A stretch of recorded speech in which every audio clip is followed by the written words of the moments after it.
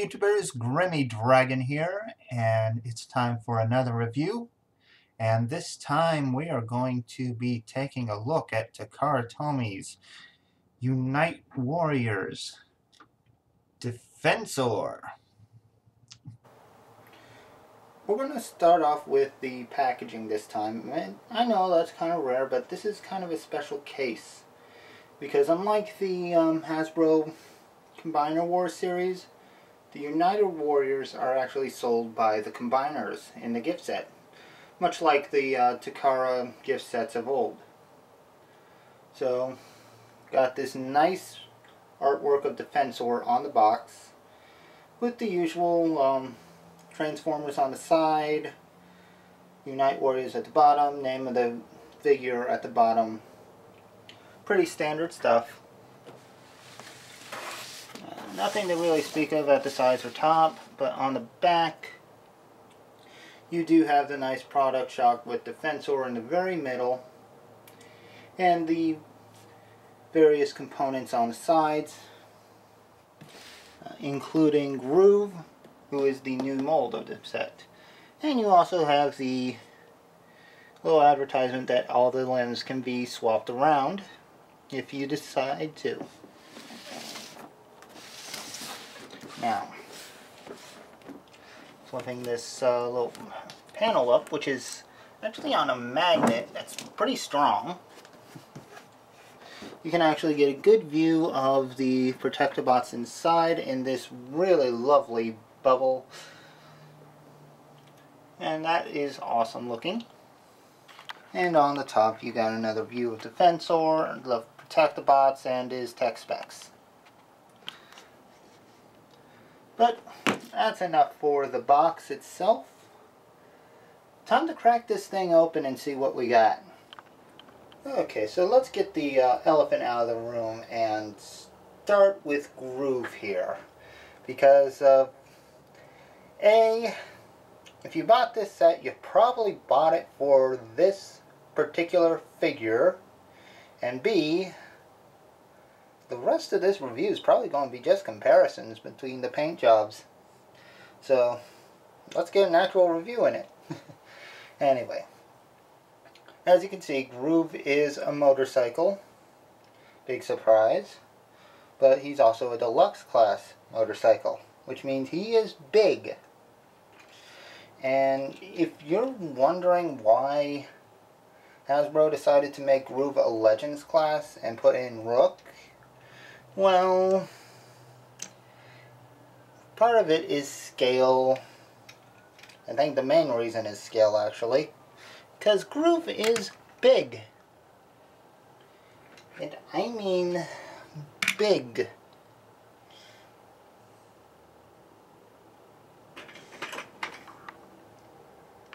I mean bigger than the other Protectobots, save for Hotspot. Yeah, Groove kind of towers over his teammates in vehicle mode. I'm not sure if he uses more plastic than the other guys, but he is a lot bigger. Which makes him look very odd next to the other guys. So I can see why Hasbro was a little iffy about putting together a team of the original five with a deluxe sized motorcycle. RC had the same problem in Prime, where her little Legion class figure looked a little bit better in vehicle mode than the deluxe. And I think any motorcycle toy is going to have the same pro um, problem, except for Wreck-Gar since Junkions are known for riding each other.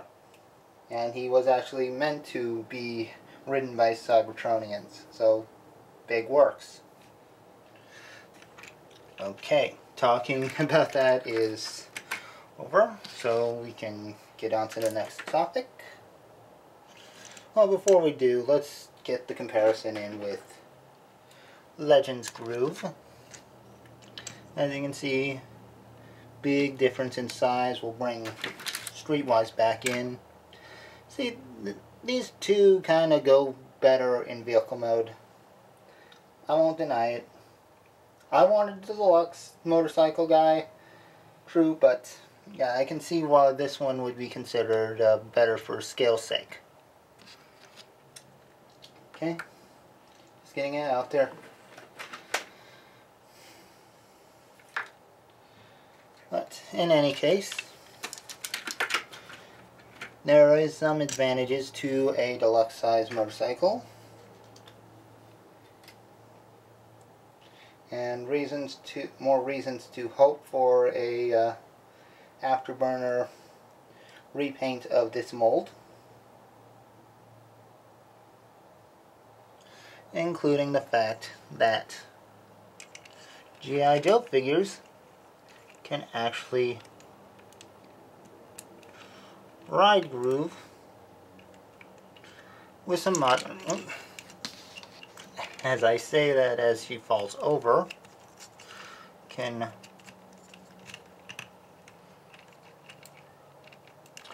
ride groove with moderate comfort and yeah I probably should take more time trying to get her on there but you get the point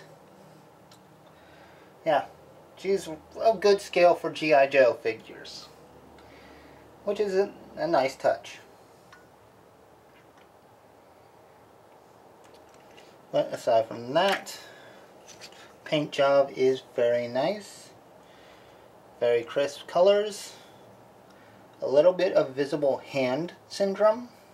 Unfortunate, but eh, what can you do? I mean, Everything else looks good. You got the uh, painted hubcaps or spokes. You got a nice police logo on the back. Got some translucent uh, siren lights and a nice translucent, somewhat sparkly uh, windshield with a cool Autobot symbol right on there. So yeah, he's a well painted and well decorated figure. Well, well decorated motorcycle.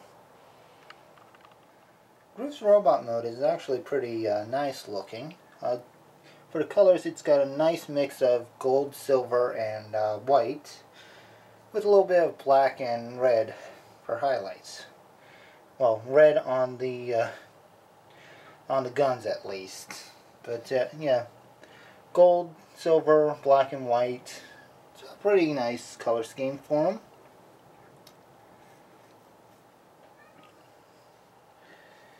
I mean, I don't know, it looks pretty good.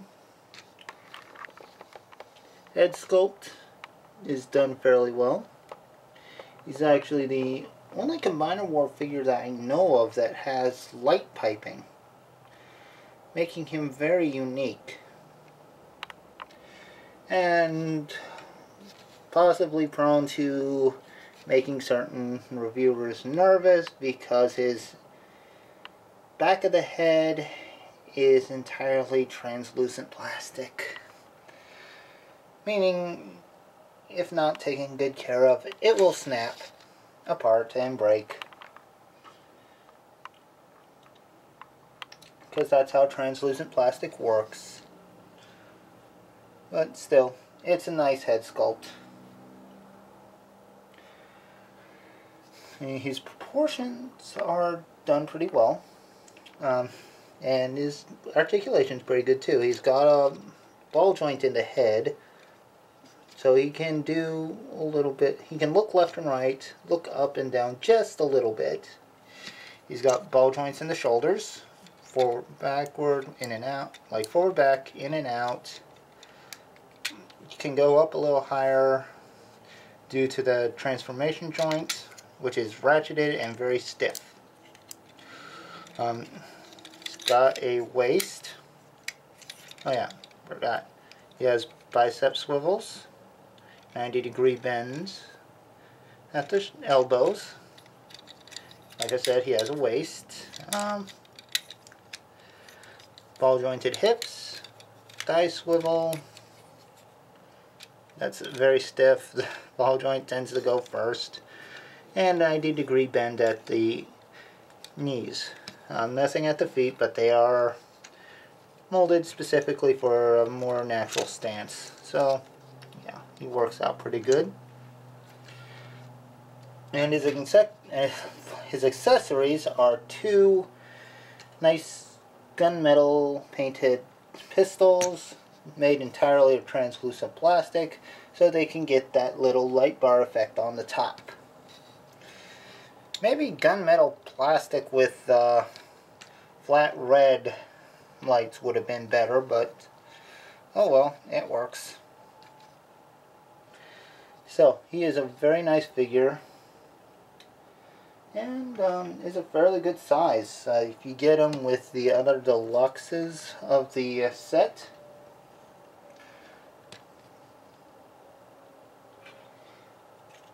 you can see he stands pretty even with the guys.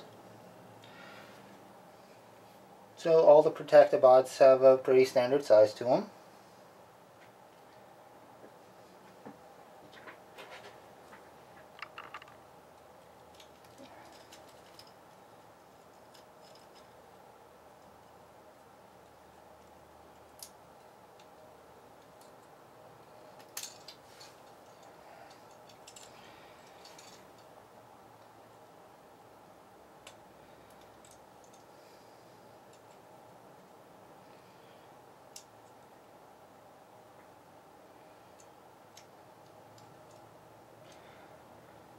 And when you put him next to his Legends counterpart, you can see a good difference in the size there. But, uh, yeah, I mean, it's quite interesting. And I do like the new Groove. I think it's a great mold. It will look great as Afterburner if they decide to go that route. I'm pretty certain they will. But, uh, yeah, it's a good figure. And for one last comparison, let's get him with the uh, guy who we got in the States, uh, Rook. And yeah, Rook looks a little bulkier in this form. Um,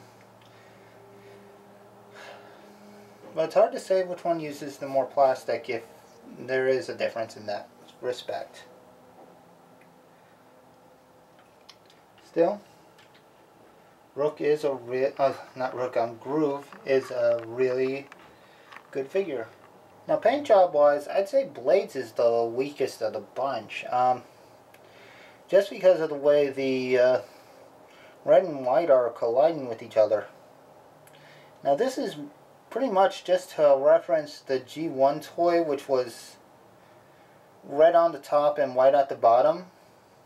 But the way it is executed, feel, just feels kind of sloppy. Like the uh, fact that this whole white area is kind of just goes from red to this big block of white that follows the panel lining. I mean, that's what really bugs me about the way they interact. It follows the panel lining for the transformation parts. And with the exception of this little bit at the side. Mean, the rest, like from here at the hinge, all those borders are different pieces. Same in the back. I mean, the borders actually reflect the transformation parts, which is a bit of a downer. I mean, I'd say this is the weak link of the bunch. Especially when you bring in the uh, Hasbro version, which put the white in, but actually did it as a stripe instead of uh, a bunch of blocks and blotches. So, and I also really like that um, Autobot rescue symbol on the back. I thought that was a really nice touch. I mean, this one has features I like. I like the fact that they put, uh, like, gunmetal gray on the warheads for the missiles. well, the foam rescue missiles. Uh, I'm sorry. You know, I kind of like the fact, well, they got both got that on there. So, I mean, honestly, out of all the Protectobots, Blades is the one that I would be the first to say the Hasbro version is the better version of the two. The others, I, I kind of go for the Takara version over them, and even if it is close. But Blades, yeah, I mean, for vehicle mode, this looks better. Now, I'll be honest, uh, Blades does look a lot better in robot mode than he does in vehicle mode. I mean, the simple red and white color scheme works well for him. It's pretty good for an Aerialbot or a Protectobot, which, you know, we know Blades is a Protectobot. But, you know, it only goes so far. I mean, I do like the white arms with, like I said, the uh, foam missiles having the tips on the warheads in gray. I thought that was a good touch. But when we compare them to the Hasbro version, okay, I like the arms here better, but the rest seems to work better for the Hasbro version of Blades. Yeah, I like how the silver kind of flows together on the red. Yeah, and you know, my opinions on the vehicle mode pretty much carry over because it still kind of shows. Although, yeah, back looks all white now, so it's that helps, I guess.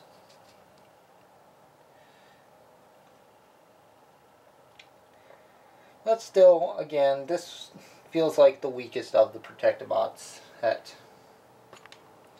okay, so first aid here is pretty nice looking. Um, definitely a lot more white on the vehicle mode than the uh, Combiner Wars version.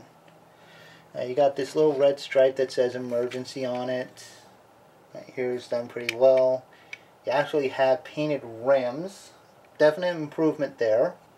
Gotta love those hubcaps. Painted back windshield, like a back uh, window. Still no lights, but uh, windows painted. That's good. Uh, got a little symbol on the side. I'm guessing a medical symbol. And you got two Autobot logos here. You got one on the back and one on the hood kind of referencing the G1 toy a bit.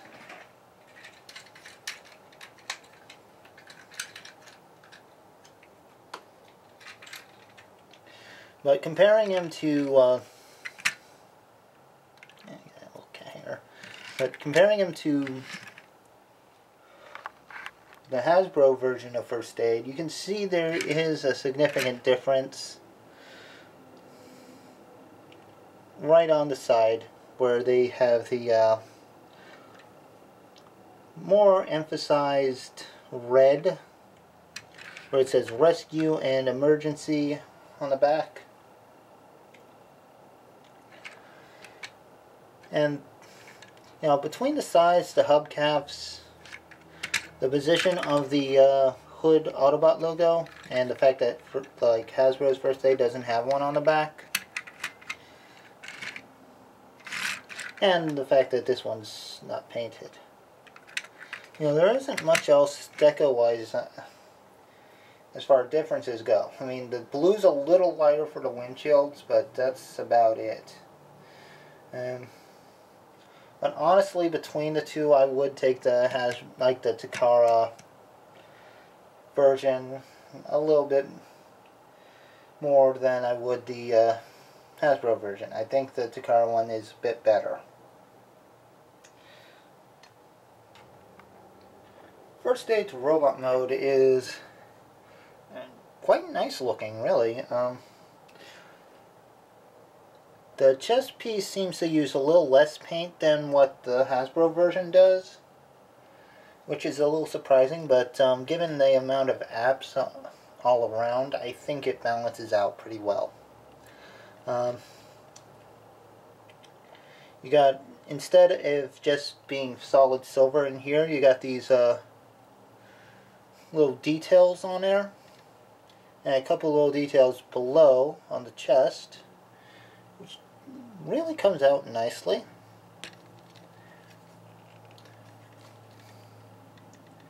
I mean, the head paint job's pretty much the same, just a lighter shade of blue for the eyes, which does help them pop quite a bit. Um, there's a white plastic instead of red on the uh, upper arms, and there's a little bit of silver paint on the forearms. Kind of helps. And on the legs, you got this nice bit of silver detail. And the Autobot symbol on the left leg. Again, um, referencing the G1 toy. Now, when compared to the Hasbro version, the differences are very few, but honestly, I do think that the Takara one's more detail oriented than the Hasbro version. But it is a very close call to make, so whichever one you like best. Streetwise's paint job would be considered basic by most, but it also gives a feeling of less is more because you got a nice uh, gray car with some police logos on the side, a decent light bar, painted hubcaps, always good. Painted hubcaps are good and should be mandatory. Just saying. You got the bumper, the guard,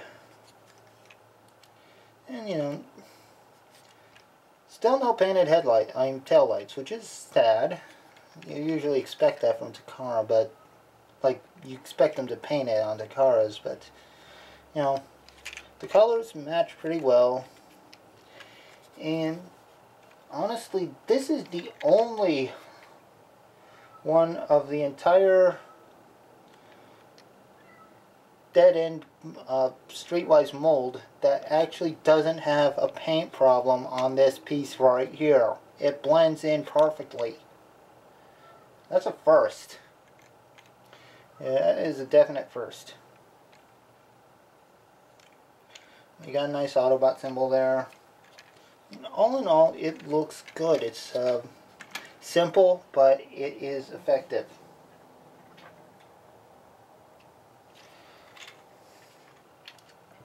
Hasbro Streetwise, on the other hand, um, does have a little bit more blue on the front, but none in the back.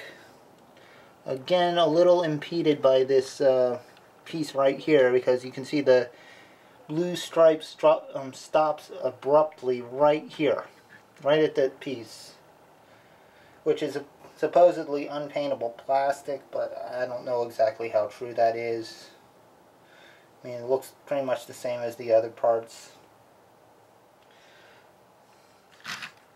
But um, I, I like the blue on Hasbro Streetwise. I do. If it continued all the way through, I think it would be another case where I think the Hasbro one has an advantage. But uh, half a paint job doesn't quite cut it. So I gotta give it to um, Takara's in this case. Streetwise, again, a very simple and elegant paint scheme. And it does a good job of bringing out the character. And really does work for him. And I like the way that the uh, chest is kind of reminiscent of Combiner Wars Prowl and the rest of them just seems to uh, blend well. I mean, I like the fact that they only painted one of the little vent things uh, just to look like kneecaps. Thought that was a nice touch. A little bit of red at the feet is good. And, you know, those are pretty much the only paint apps he has on him, save for the head, which is exactly the same as uh, the Combiner Wars version. Uh, speaking of,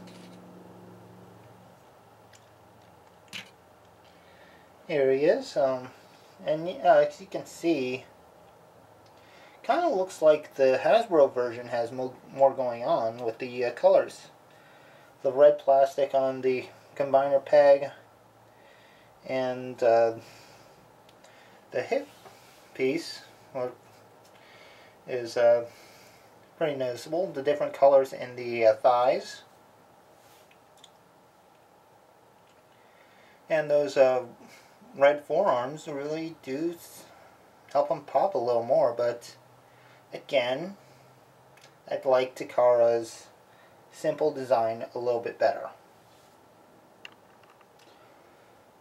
Now, Hotspot is pretty interesting because while his paint job is is quite different from the Hasbro version,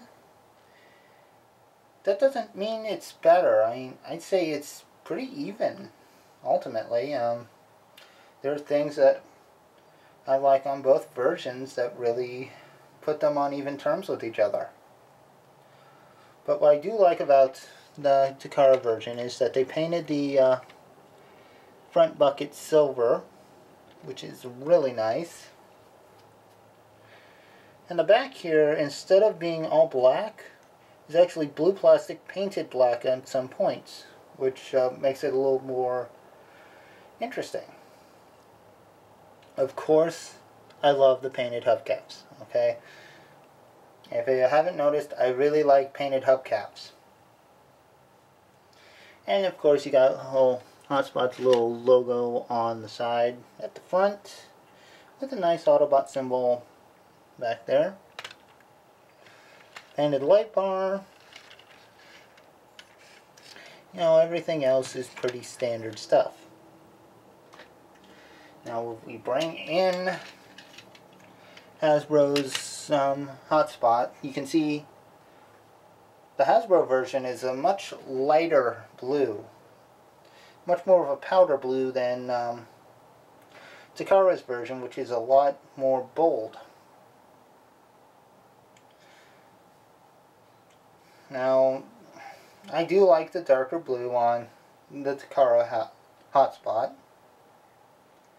I do like the fact that the windows are painted, well these vents are painted like windows, and they're not here. But I do like that little red stripe. And I also like the fire rescue with the hotspot logo right here on the back, because that is a nice looking deco as well. So, I mean, this is a really close race here between these two. Which one's better and not better. I'd say the Takara one has a slight advantage here. But again, it's not a drastic advantage. Now, while the lesson is more approach works great for streetwise, I can't say it's a guaranteed hit for Hotspot. Um, again, his paint scheme seems a little more simplified in robot mode, although it does pick out some really nice details, like the uh, that little bit of mech work in the shoulders, the forearms, and the springs along the forearms as well. Although, I'm not fond of the fact that they skipped out on the uh, details in the shoulders and some in the chest and along the thighs. I like that part of uh, Combiner Wars hotspot quite a bit. It's nice that they picked out the silver fuel tanks, but you know, the black crotch doesn't really speak to me too much. Uh, probably shouldn't. And it does look like it's um, very fluid pants. So, I don't know, maybe that does work. But what really kind of bugs me is that he's kind of lacking an Autobot symbol in robot mode. Like the ones from his vehicle mode are the inside of his uh, shins, which makes it kind of hard to view them. But luckily, Repro Labels can fix that, and they probably will very shortly. But for a quick comparison, yeah, there's the Combiner Wars hotspot. Again, much lighter blue on the Hasbro version. And yeah, this is a real solid case of features I like on one that I wish were on the other.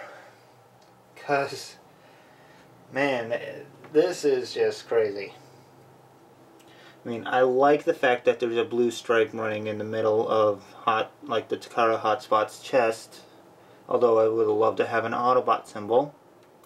I really like these uh, striped red and silver stripes on Takara's hotspot, uh, which they were picked out in, well, on Hasbro's hotspot, I'm sorry. I wish Takara's hotspot picked them out as well. So, this is quite a case of they both have really good points, but they neither one really has everything I want out of the mold. And it's crazy. But yeah, it's a tie between the two. Okay, now that we got Defensor all put together, he looks really good. I mean, again, it's uh, much like with the hotspot. It's a matter of a lot of things I'd like, a lot of things I liked on Hasbro's Defensor that I wish were here. And uh, I will say, this is the one mode where I kind of like the white on blades because it really does help make them look a little bit more uh, symmetrical in a color scheme. Although the gray kind of breaks that up. yeah, but yeah, the white forearm here, white forearm here, it kind of goes together. So it's a nice blend there. Uh, there's definitely more blue on this particular Defensor than what the Combiner Wars one had, which is okay. Okay, I kind of like how the uh, details here are kind of picked out with black hair and the silver right below. Although I kind of miss the uh, silver and red detail below. And the details that were right here on the thighs. Still, it's not a bad looking mode. I think it's a pretty good one. I mean, the silver from the bucket looks good on the shoulders. A little bit better than the black from the uh, Hasbro version.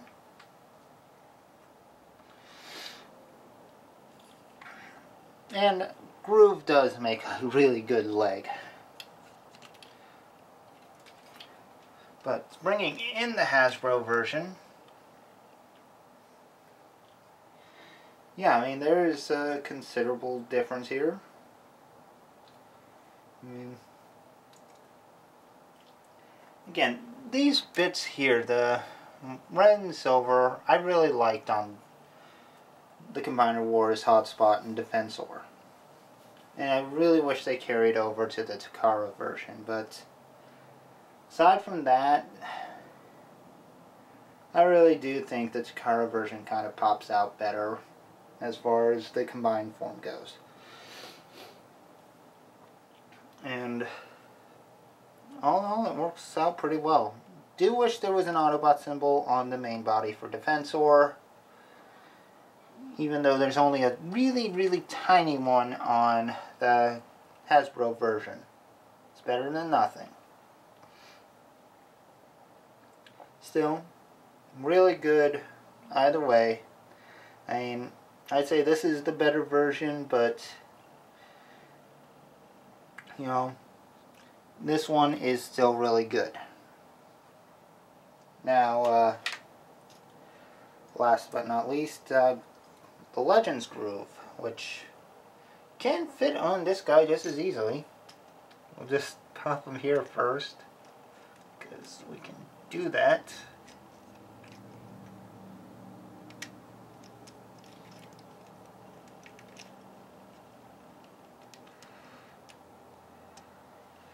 As you can see, it looks fine on the Unite Warriors Defensor. And fun fact, the